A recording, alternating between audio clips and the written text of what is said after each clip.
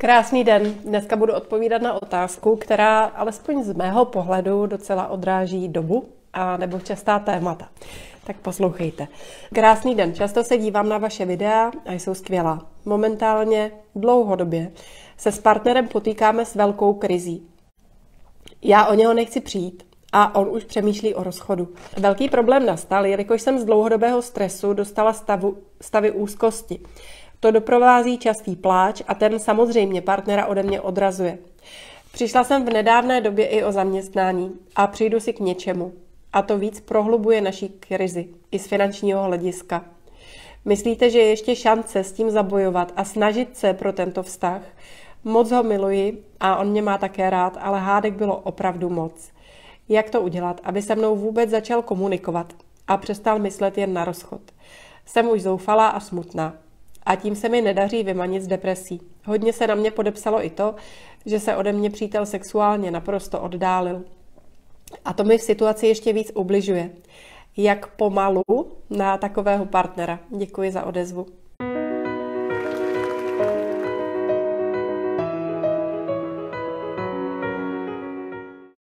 Já děkuji za tuhle otázku, protože eh, co já pozoruju za ty uplynulé roky, že mm, mám, ale vím, že individuálně i vztahově, i společensky se dostáváme do mnohem většího presu, než jsme byli zvyklí v těch předchozích letech.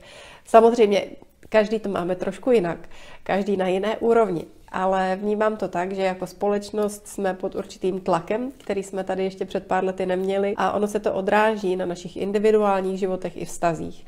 Někomu se to promítá přes zdraví, někomu přes pracovní oblast, někomu přes finance, někomu právě přes vztahy a nebo zkrátka emocionální rozpoložení.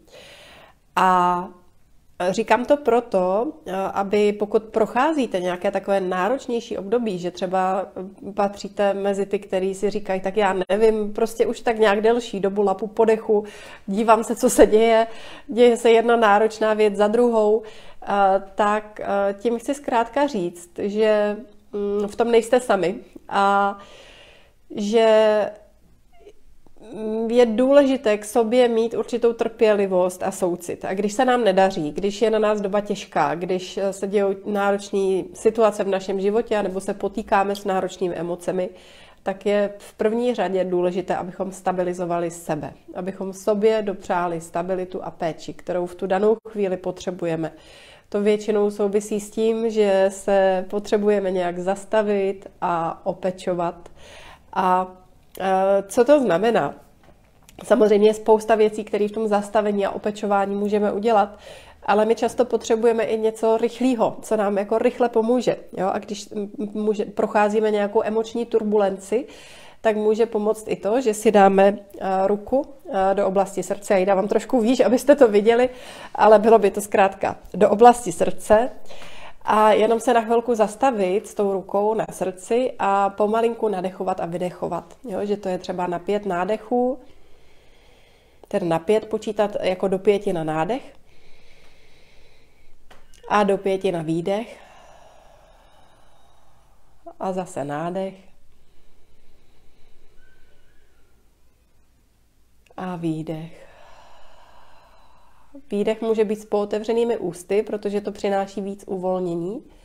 A klidně si během toho, co mě posloucháte, dýchejte takhle dál a pozorujte, co to s vámi děje. Pokud máte prostor, tak se zapojte na pět nádech a na pět výdech s rukou na srdci.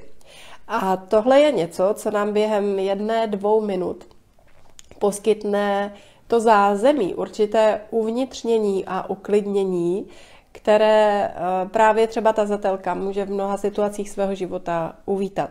Když se dostává znovu do presů, do úzkosti, do pláče, tak eh, tohle je něco, co máme vždycky po ruce. Jo, ruka na srdce a minutku, dvě takhle vědomě zpomaleně dýchat a ono to uklidní náš nervový systém.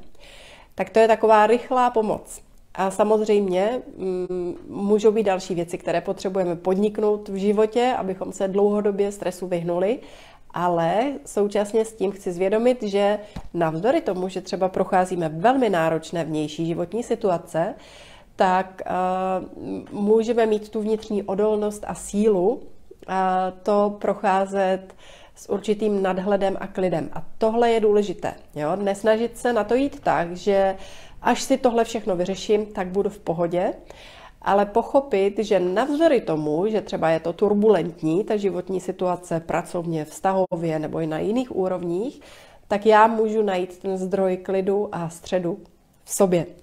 Tady na to téma navíc budeme dnes večer vysílat spolu s mým kolegou Richardem, takže se můžete připojit i na živé vysílání, které jsme eh, právě věnovali tomu tématu, co dělat, když jsme v nějakém náročném období, když je to turbulentní, eh, když eh, potkáváme různé životní výzvy, tak jak vlastně v tom všem najít určitou stabilitu v sobě nebo vůbec zdroj energie, zdroj chuti do života, tak tomu bude věnované vysílání, které poběží tady na Facebooku a taky na mém YouTube kanálu. A zpátky ještě k té otázce tazatelky, která se právě týkala i vztahu.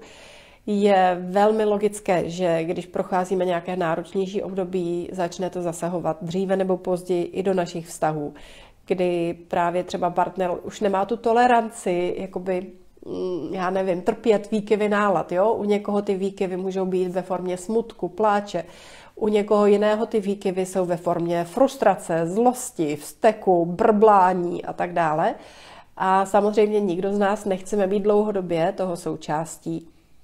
A pokud chceme zachránit vztah, který trpí našimi náladami, tak o to důležitější je, abychom v první řadě si hledali ty ostrůvky určitého uklidnění a uvolnění v sobě, navzdory tomu, že třeba nemáme vyřešenou životní situaci. Jo? Protože vyřešit životní situaci, práci, zdraví, něco dalšího je běh na delší trať, ale takové určité uklidnění, ukotvení se můžeme naučit integrovat do svého života už rovnou. Třeba tím malinkatým cvičením, které jsem vám před chvilinkou ukázala.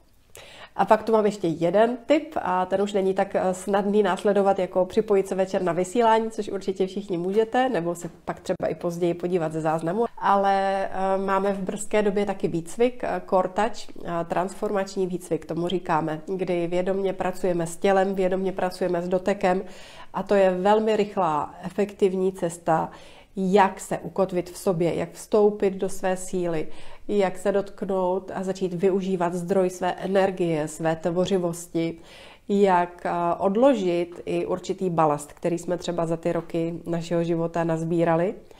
A jak už jsem říkala, jak být ve svém středu a ve svém síle, i když je to třeba kolem nás turbulentní.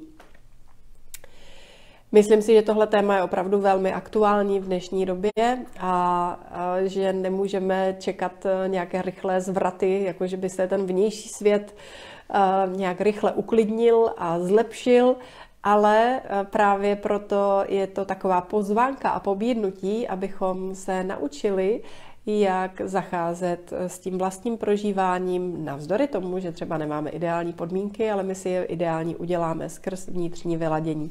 A doufám, že i tohle krátké vysílání pro vás bylo užitečné. A budu ráda, když budete sdílet, pokud budete chtít a těším se zase na viděnou.